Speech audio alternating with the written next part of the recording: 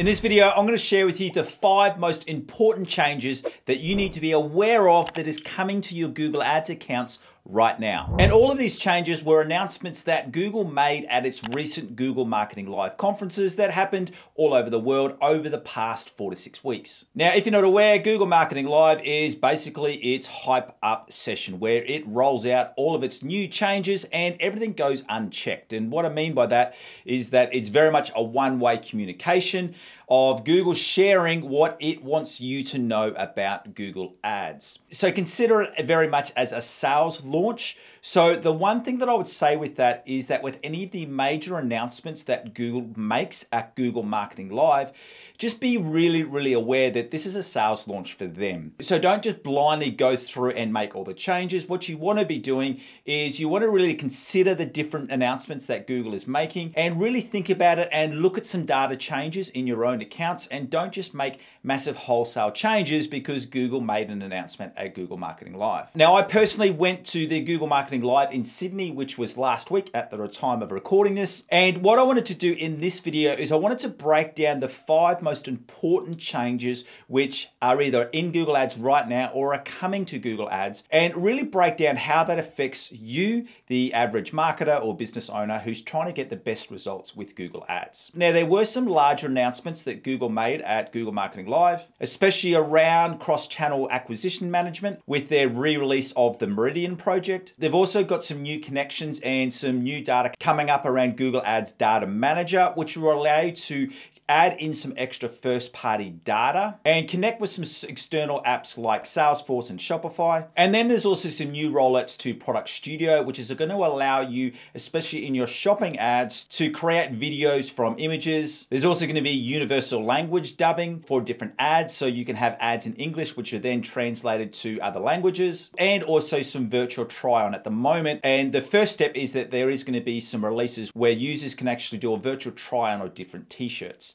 Now, with those three things, I'm not going to be sharing too much in this video. And the reason for that is that they aren't fully launched yet. So they are all scheduled to be launched later this year, but that rollout can be pushed back. So there's no point me really breaking that down because what I found often with these announcements to what actually happens can sometimes be different. But if you want to make sure that you never miss any important updates that come up with Google Ads, make sure that you don't only subscribe to this channel, but that you also turn on the notification bell so you know every time I release a new video right here. And my goal here is, as what it always is, is to give you the most straightforward and practical teaching that you can use for your Google Ads campaigns. So right now, let's get into the top five most important announcements that happened at Google Marketing Live. And as I said at the start, I'm really gonna be focusing on those changes which are most relevant for you and your accounts. If you think I've missed anything from Google Marketing Live's product updates, why don't you put a comment down in the comment section so that we can keep the discussion going further. And the first major change, and this actually is nothing new because I've spoken at length about this on this channel, but if it was even possible, broad match keywords are not only here to stay. They're more of a focus than what they were previously. Now, what was interesting to hear here is that at Google Marketing Live, Google made the announcement that their AI models are now 100 times more accurate than what they were 18 months ago. And the example that they gave is that over the last couple of months, and only over the last couple of months, the machine learning within search terms and auctions has only been able to differentiate between search terms like milk chocolate and chocolate milk. With the problem being earlier that if you were to target chocolate milk, it would pull up searches for milk chocolate. And as you may know, chocolate milk and milk chocolate are two different things. Now, Google were really selling this as a positive. Now, yes, that is a positive, but my big issue here is that Google was making it sound like that their AI systems could do this, you know, when they were launched the changes to broad match keywords 18 months ago. And that's just a really perfect example of where I say that with all of these announcements which Google is giving, you do need to tread slowly and make sure you do some testing in maybe one or two campaigns before you just roll it out across your total account. Because quite often with this, the announcements that Google make are theoretically true. And what I mean by that is that what they're announcing is theoretically true and how it should work, but quite often it works quite differently. But as we're talking about broad match targeting, one thing that I did find very, very very interesting and very relevant is that user search queries, so the search terms that users are using that have five words or more, are now growing one and a half times faster. So what that means is that we're seeing a very, very fast trend towards people doing more detailed searches. So let me give you an example. Rather than someone searching for Nike Air Max shoes, they would actually be putting in men's Nike Air Max shoes, size 10, colors red and blue. So users are getting a lot more detailed in their searches. Now, the reason for why I'm happy with this is because this is something which I've been predicting and teaching about very clearly for the last nine months. The strategy which I'm really recommending, which when I came from Google Marketing Live, it really just reinforced what this strategy is, is that for your keywords in your ad groups, you should be building your ad groups with two or three long tail broad match keywords that have at least three words in them, but ideally you'd be having four, five, or six words in them. And then from those broad match keywords, you then build out exact match keyword lists and also negative keyword lists. Now, this is a really, really big subject. And if you stick around to the end of this video, I will show you another video that you can go and watch on YouTube for free access it right here.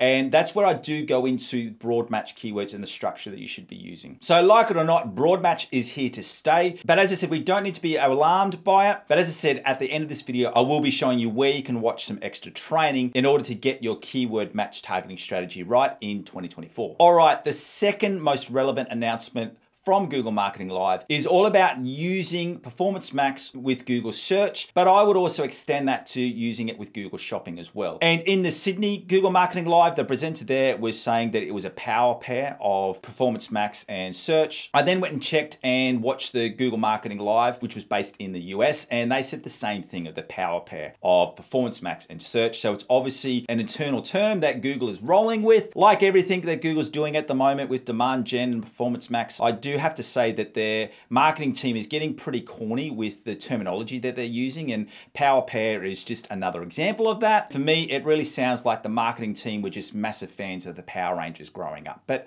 anyway, that's a whole nother topic. So what Google was saying is that when people were using Performance Max and Search together, that they saw a 27% increase in conversions. I would not be focusing too much on that 20% increase. And the reason for that is because they didn't break down where the data was from and they didn't give any idea of the different niches that those businesses were in. They also didn't talk about the structure of those campaigns. So I wouldn't read into that at all. But having said that, internally from the start of this year, we've been seeing great success and I have been recommending that people use Performance Max and Search together. But having said that, I do not recommend that you turn on Performance Max and Search right at the start. You need to remember that Performance Max was designed and has always been designed in order to find new conversions. So my recommendation would be that for service-based businesses, online coaches, and also for services or software businesses that you would start with Google search and then you would add in Performance Max. For e-commerce brands, you would start with search and shopping and then add in Performance Max. Now to answer that big question of when you should start Performance Max, you need to be looking at, you'd be wanting to see 30 conversions over a 30 day period. And you'd also want to be confident that you've got a really good idea of the best converting search terms, the best converting audiences, and you've also completed some split tests to find the best converting ad copies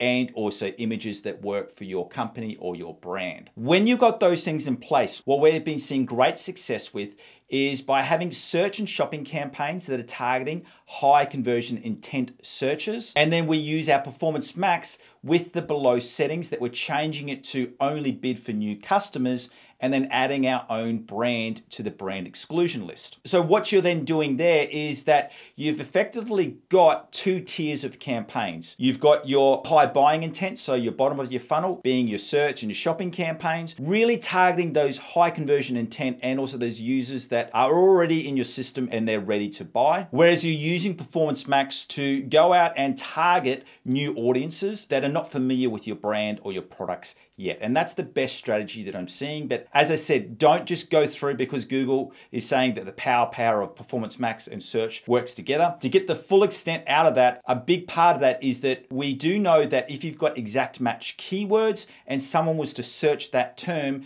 the ad would trigger from the search campaign, not the Performance Max campaign. So that's why you would not start with Performance Max, you would start with that search so you can build out those high converting keywords so that you can then control the spend for those high high converting keywords in your search and your shopping campaigns. All right, now numbers three and four. So the next two announcements, I'm actually quite excited to see them. And the reason for that is because they're going to give us some extra optimization options. And the first one is so the number three announcement to keep an eye out on is that within Performance Max, in your Google Ads dashboard, at some stage over the coming weeks and months, you'll start to see placement level reporting for the display network and the YouTube network. Now, they did say that you'll have options for exclusions at the YouTube level. I don't know whether that's going to be for all of YouTube or at the channel level. And what we're what I'm assuming will happen here is similar to what Google rolled out about nine months after launching Performance Max is that it started to give data at the asset group level around clicks, costs, and conversion data. And if we were to get that same level of information like clicks, costs, conversion data at the placement level so that we could see how the display network and the shopping network and the search network were working together, it would give us some different optimization options. So I'm excited about that, but once again, not too excited because I want to see it rolled out before we make any final calls on it. But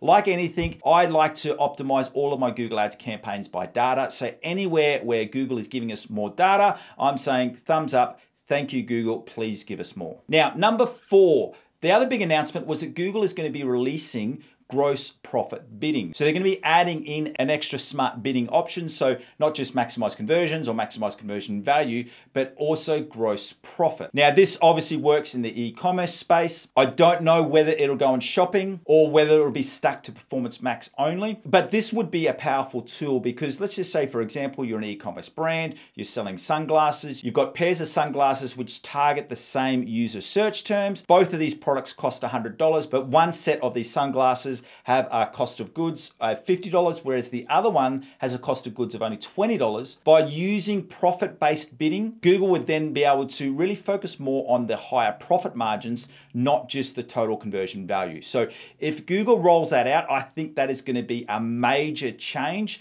I'm really looking for that to becoming active in Google Ads campaigns. Now, with these type of changes, it's highly likely that they'll be released at different speeds. So it usually gets released in different countries, usually America and Europe are first, but it may not go across all accounts. They usually select different types of accounts. So it'd be something just to watch out for when it does become available. And once it does become available and we've got some testing, we will sure to be giving our view on how you can best use this for your Google Ads campaigns. All right, and number five, the last most relevant point for you and your Google Ads campaigns is that Google is pushing really, really hard on demand gen. For me, demand gen has been with us for around about a year now. I know there was some early beta testing, but basically everyone has had access for about a year. And to date, I still haven't really seen a positive use case for this, except if you are a larger brand that is spending over six figures a month in Google Ads and then you just allocate about 5 to 10% of your total budget to demand gen. Now, one of the main reasons for that is just because the acquisition windows are too long and you need a significant budget behind it in order for Google to be able to get enough data there. So that's why I just haven't been recommending it for normal business owners because the amount of budget and the time frame required would sink most businesses before they saw a benefit in it. But a big change that they are making for demand gen is one of the features that got everyone interested in demand gen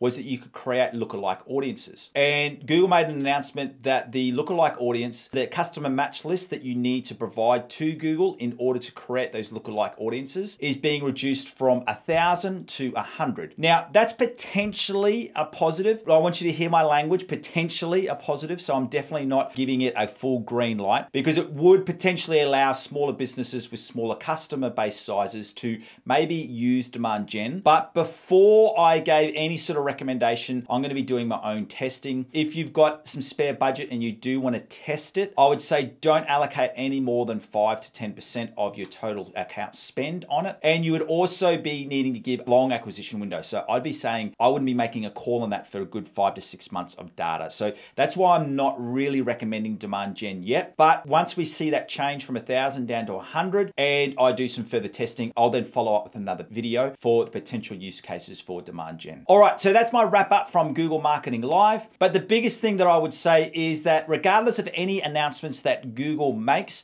for success with Google Ads, regardless of what type of campaign you're running or what business you're marketing, the core to success is having a structured optimization strategy. And to help you with that, I want to give you access to my Google Ads optimization checklists. And these are checklists which you can use so that you know exactly what to optimize in your Google Ads campaigns. And I've got these checklists for both e-commerce brands and also service-based businesses. And if you want to access my optimization checklists, just follow that link in the description below. Once again, thank you for joining me. My name is Aaron Young from Define Digital Academy. And as always, it has been my absolute pleasure to have you here. And as promised at the start of the video, if you want to see this extra training on broad match keywords, I want you to go through and watch this video right here. See you next time.